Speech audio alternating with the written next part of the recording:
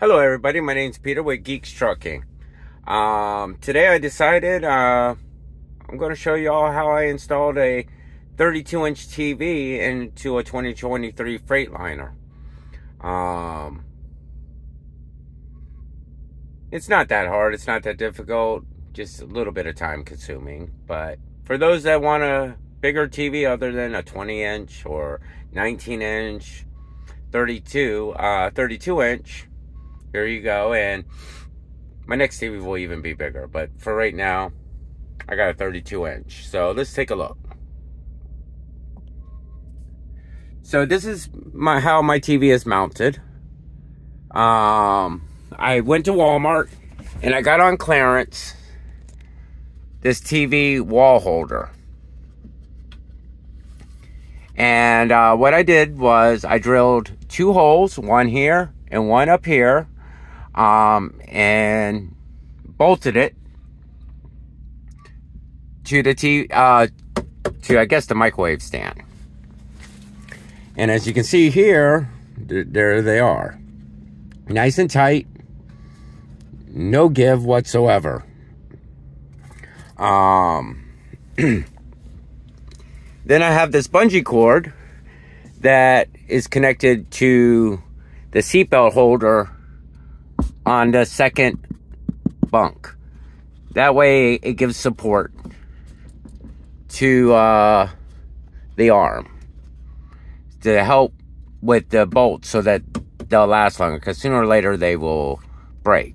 Now, when I'm driving, this is how my TV is.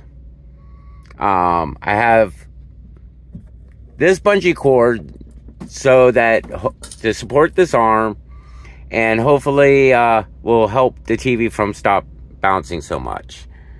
Um, but all you need to do, see if I can do this one-handed.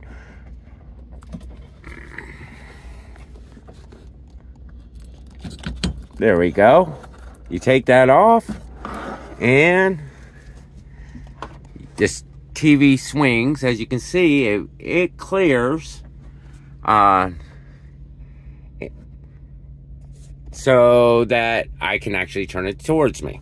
Now, before y'all say anything, yes, I do know I need to wash the screen of my TV and all that, but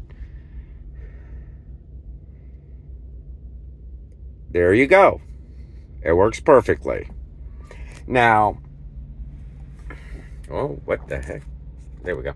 Now, um, I can watch TV, 32 inch. It's suspended above the bed. It's more comfortable to watch. Um, hopefully, this will help someone figure out how to install a 32 inch TV. Uh, whenever this TV breaks, because I it tends they tend to fall down and break. Thank goodness TVs are getting cheaper. I think my next one will probably be a 42. I think I could get a 42 into this truck. Uh, may have to mount it differently, but I want to try because it should be interesting. So, anyways, thank you all for watching. You all have a great day. Bye now.